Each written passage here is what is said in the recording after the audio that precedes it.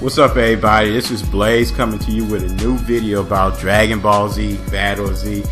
And and this is just, you know, the control scheme of the game.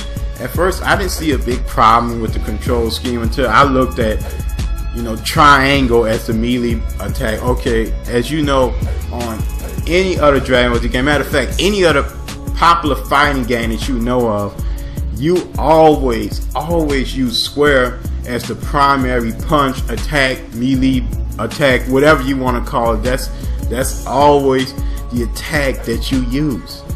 So now it's triangle, and now instead of instead of square being the attack button, it's the ascend button to go up in the air.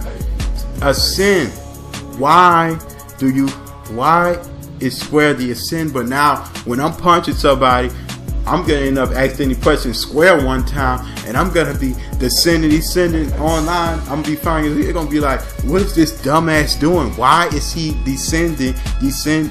I mean, ascending, ascending, whatever, ascending, descending, whatever. It doesn't matter. Anyway, it's a big problem. There are certain uh, certain things in fighting games and in games in general you don't change. You don't change the attack button you don't change the jumping button. You don't change the shooting button. You don't change that shit. Well, besides that, X and square being fucked up and triangle being fucked up, everything else looks good.